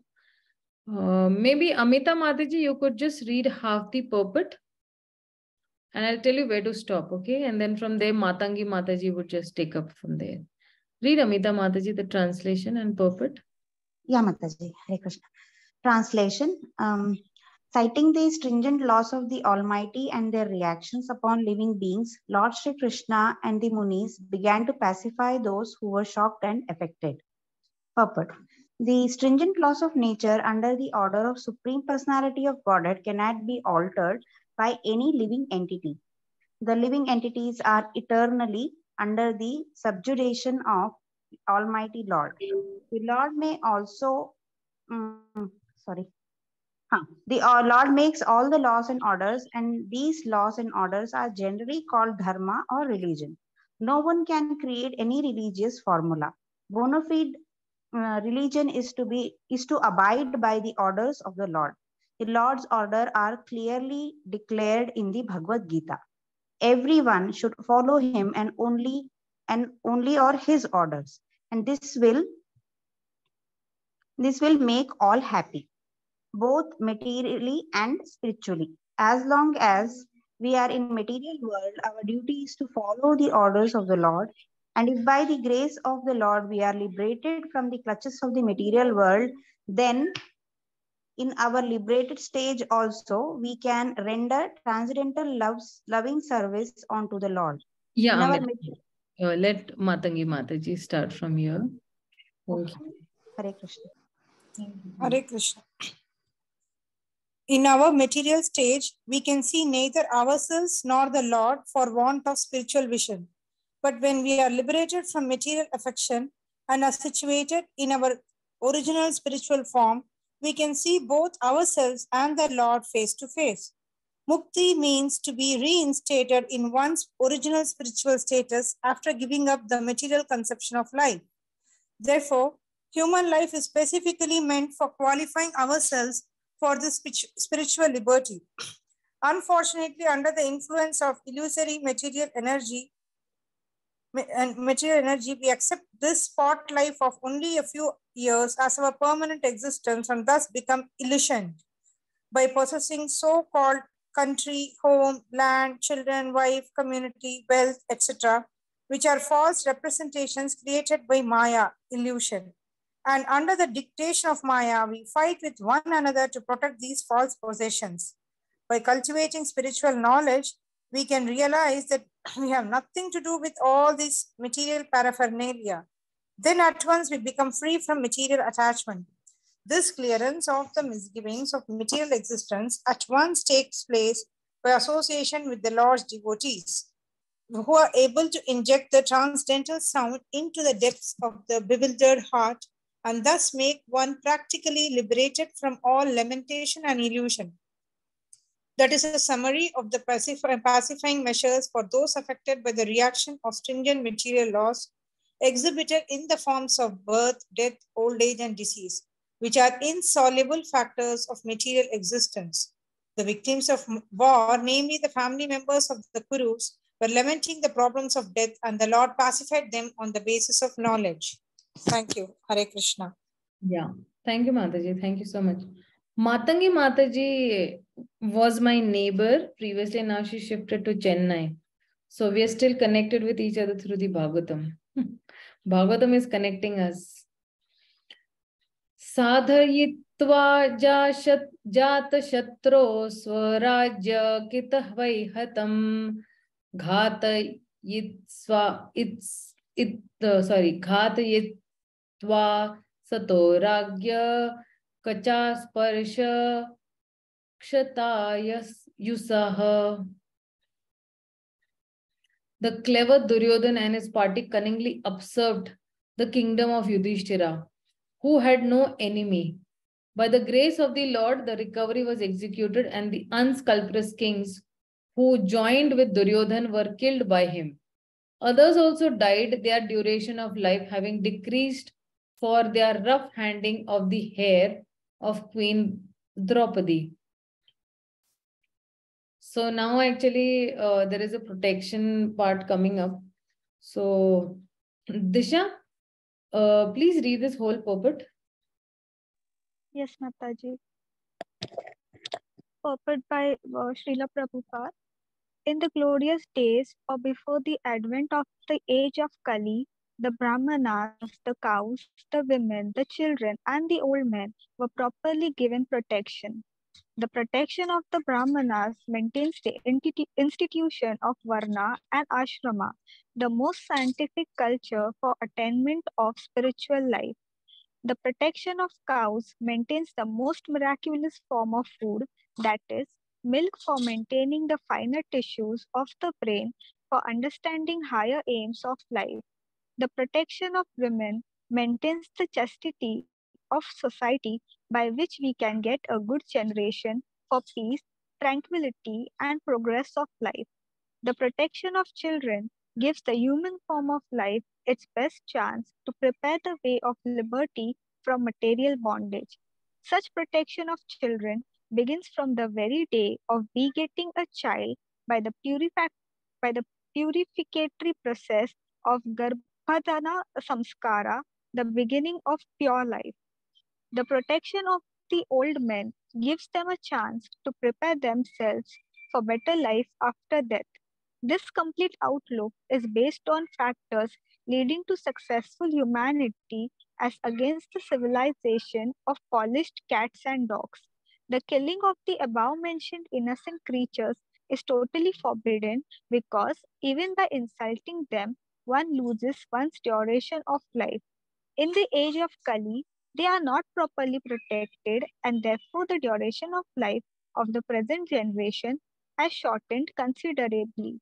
In the Bhagavad Gita, it is stated that when the women become unchaste for want of proper protection, there are unwanted children called Varna Sankara. To insult a chaste woman means to bring about disaster in the duration of life. Dushasan, a brother of Duryodhan, insulted Draupadi, an idle chaste lady, and therefore the miscreants died untimely. These are some of the stringent laws of the Lord mentioned above. Hare Krishna. Uh, this is a very important purpose. Do you see that where the Lord is saying that uh, who all should be given protection? Brahmana should be prote protected uh, because they maintain, you know, the institution of Varna and Ashrama. They are uh, meant to uh, impart spiritual knowledge. Then cows should be protected. Why? Because whenever we are drinking the milk of the cow, the finer tissues in our brains they are helping us understanding the higher aims of life जैसे say you know, in Hindi की भैंस का दूध पियोगे तो भैंस की बुद्धि आएगी then you will not understand uh, you know the higher philosophy or the higher aims of life that okay i have an aim in life that i want to worship the supreme lord then protection of the women also if women are not enough protected then what will happen is that there will be prostitutes moving all around they will lose their chastity वो अपनी पवित्रता खो देंगे और फिर आगे वाली जो प्रजा आएगी या the the next progeny that will be there from their womb then they will also be like varna shankaras only. They will also be uh, you know moving around here and there aimlessly. So they will also not have chastity and then that you know series keeps on going or the lineage keeps on going. And then they're saying that protection of children. Children should be protected from uh, uh, you know from right from the beginning age from the womb they should be given some nice samskara so that they can connect with the supreme lord. And the protection of old people is giving them a chance to prepare themselves for better life after death. Old people especially even uh, should be given so much of uh, you know protection that uh, protection in the sense old people don't demand so much. Like i'm seeing my own parents what they're demanding nothing they're demanding. They're just giving they're demanding some part of uh, or some time maybe one or two hours of yours. Or they're demanding that okay you sit with us and you talk and chit chat with us or you just read with us. Like me and my parents we read uh, the bhagavad gita every day or some other ramayana something we read it every day. Like how I'm reading with you all. I'm reading with my parents also. So and check this out. You know any of these people if they insulted this particular you know so nice that if the killing of the above innocent creature is totally forbidden because even by insulting any one of them one loses duration of life. ayur harati vai pumsa so ayur har legi aapki ayu har lega if you insult any of these Either you insult a Brahmana, you insult a cow. Insulting a cow means killing the cow.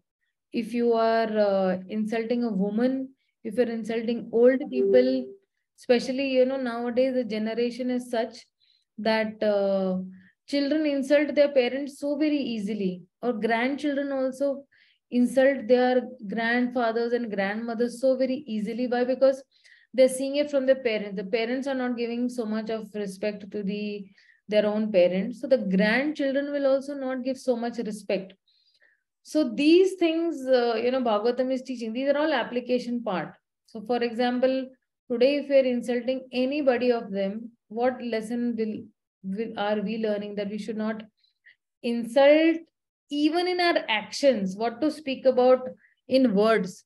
Not even in our actions, we should insult any one of these five. Right? Okay. So this is the takeaway for you know, this particular purport. Let's check the next purport. यज्जित्वा अश्वमेधस्तं त्रिभिरुत्तमकल्पके तद्यस्य पावनं दिक्षु शतामन्योर् इवातनोत्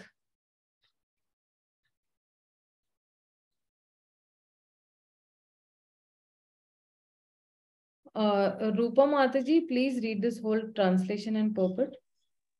Hare Krishna.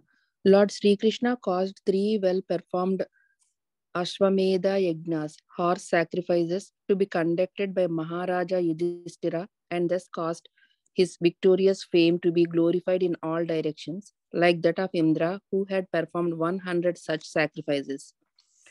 Purport This is something like the preface to the performances of Ashwa, Ashwamedha Yajna by Maharaja Yudhishthira.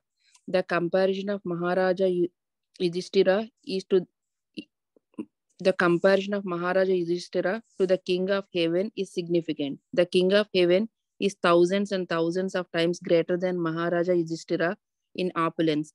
Yet the fame of Maharaja Yudhishthira was not less. The reason is that Maharaja Yudhishthira was a pure devotee of the Lord and by his grace only was the king Yudhishthira on the level of the king of heaven, even though he performed only three yajnas, whereas the king of heaven performed hundreds. That is the prerogative of the devotee of the Lord. The Lord is equal to everyone, but a devotee of the Lord is more glorified because he is always in touch with the all great. The sun rays are equally distributed, but still there are some places which are always dark this is not due to the sun, but to the receptive power.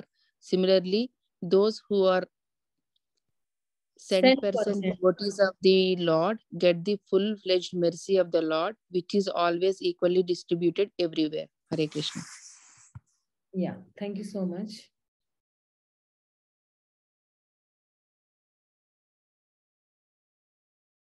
आमन्त्रय पाण्डुपुत्रंश्च सेनयोद्धव संयुत द्वैपयान्यदिभिर्विप्रहे पूजितां प्रतिपूजितम्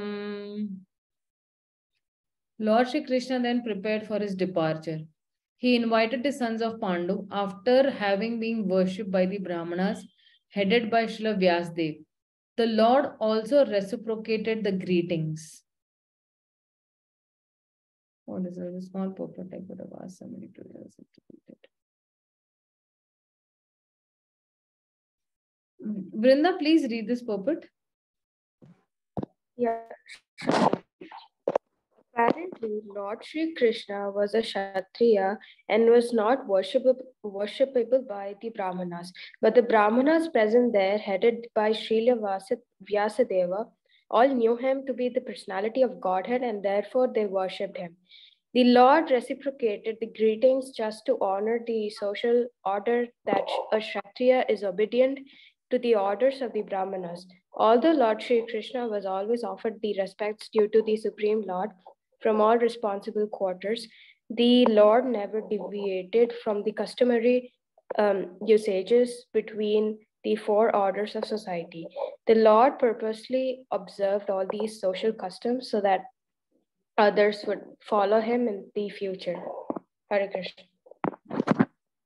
So, uh, Lord uh, Shri Krishna is always showing respect towards Yudhishthir, or because Yudhishthir is elder to him. Okay. And he's always showing respect to the Brahmanas. He's uh, always uh, showing respect to Shri Vyasadev. So, whatever the codes of uh, respect were there, uh, the Lord completely always followed them. He did not shirk away from these social customs. गन्तुं कृतमातिर्ब्रह्मन् द्वारकां रथमास्थित उपलेभिधावतीम् उत्तरां भयवि Vivahalam. As soon as he seated himself on the chariot to start for Dwarka, he saw Uttara hurrying towards him in fear. So now actually Uttara is coming in scene over here that uh, now she is actually bowing down to the Lord and what she'll speak, let's see. Uh, Vaishnavi, hmm. please read this purport. Yes, Mataji.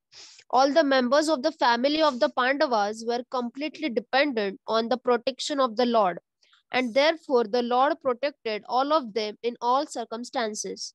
The Lord protects everyone, but one who depends completely upon him is especially looked after by the Lord.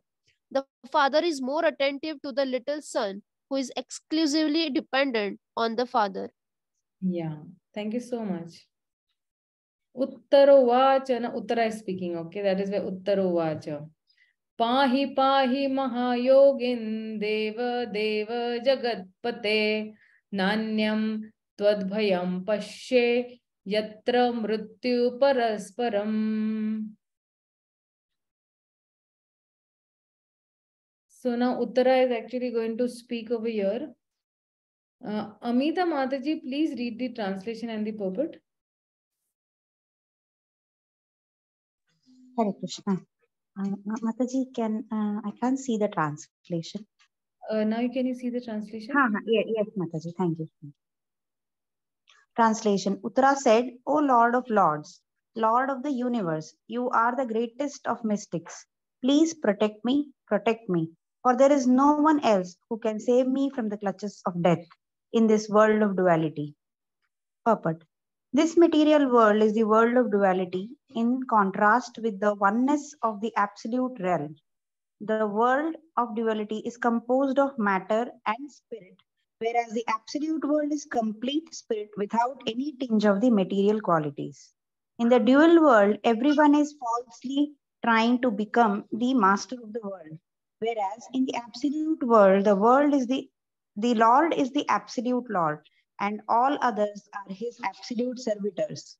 In the world of duality, everyone is envious of all others, and death is inevitable due to the dual existence of matter and spirit.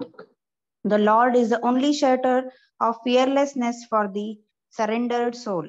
One cannot save himself from the cruel hands of death in material world without having surrendered himself at the lotus feet of the Lord. Hare Krishna. Thank you so much. Okay, now she's actually praying to the Lord. Okay. अभिद्रवित मामीश सारस तपस तप तपत्यासो विभो कामां दहातु माँ नाथ मामे गर्भो निपात्यताम्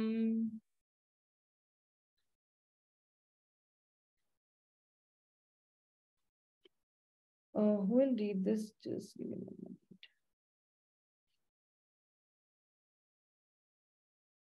Vaishnavi Mataji, please read this whole translation and purport. Yes, Mataji. Translation O my Lord, you are all powerful. A, a fiery iron arrow is coming towards me fast. My Lord, let it burn me personally, if you so desire, but please do not let it burn and abort my eyebrow, uh, No, abort my embryo. Ah. Please do me this favor, my lord. Purport. This incident took place after the death of Abhimanyu, the husband of Uttara. Abhimanyu's widow, Uttara, should have followed the path of her husband, but because she was pregnant and Maharaja Parikshit, a great devotee of the Lord, was lying in embryo, she was responsible for his protection. The mother of a child has a great responsibility in giving all protection to the child, and therefore Uttara was not ashamed to express this frankly before Lord Shri Krishna. Uttara was the daughter of a great king, the wife of a great hero, and student of a great devotee. And later, she was the mother of a good king also. She was fortunate in every respect. Yeah. So now this is the whole character of Uttara in this particular paragraph. Now, Shri- Mataji, what is the Uttara's uh, father's name? Uh, Uttara got married to Uttara's father's name. I Just forget. Maybe I'll just uh, put it on the WhatsApp group. Uttara's father name. I'll just find out from the Mahabharat. And I'll tell you what. I just don't remember the father's name currently. Sure, Mataji. Yeah. सूत उवाच उपधार्य वचस्तस्य भगवान् भक्तवत्सल अपाण्डवम् इदं कर्तुं द्रो द्रोणेर अस्त्र अभ्युत अद्भुत्यता।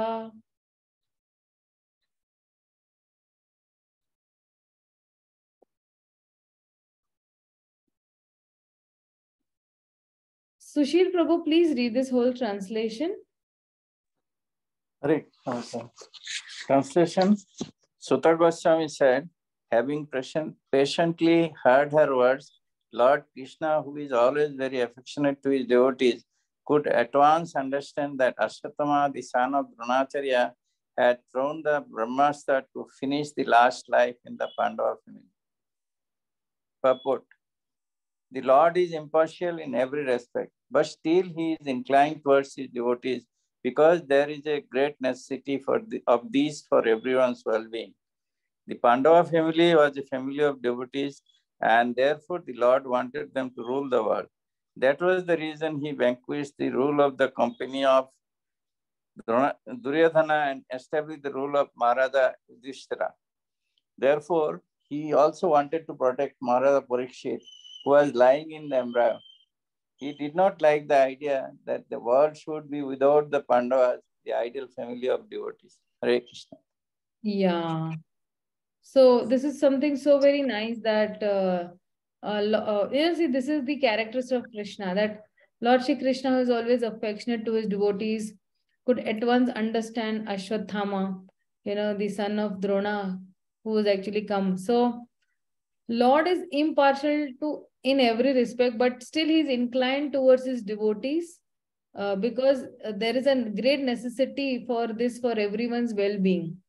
And Pandavas being, you know, pure devotee, and they're going to, uh, you know, the law. See, this was the Lord's desire that uh, the Pandavas rule the world. Okay, he wanted Yudhishthira to be established on the throne because uh, they all were pious and they were all uh, men of uh, great valor. They were pure devotees of the Lord, and that is why uh, he actually vanquished this Duryodhana's rule and he's establishing Yudhishthir rule. Why? Because Duryodhana represents a dharma and Yudhishthir represents dharma, right? And that is why, because uh, now Parikshit Maharaj is the uh, last lineage or the last, uh, you know, person left in that particular family. Now the Lord will definitely save Parikshit Maharaj in the womb of Uttara. And uh, he will also, the Lord also did not like this idea that, you know, this world should be without the Pandavas who are actually idol devotees. So that is why now these are some of the reasons that Krishna wants to save uh, Parikshit Maharaj in the womb of Uttara. Okay, so I think we will stop over here. We'll continue from uh, shloka number 12. Okay, and uh, we'll see tomorrow some more finer points and all. So yeah, Disha is right that uh, Uttara's father's name is King Virata. Absolutely. Thank you so much. And yes, even Amita Mataji, thank you so much that Uttara's father's name is King Virata. Okay, yeah. Thank you. Srila Prabhupada ki jai. Gaur Bhakta Vrindik ki jai. We'll meet tomorrow at 9.15. Hare Krishna. Hare Krishna. Hare Krishna.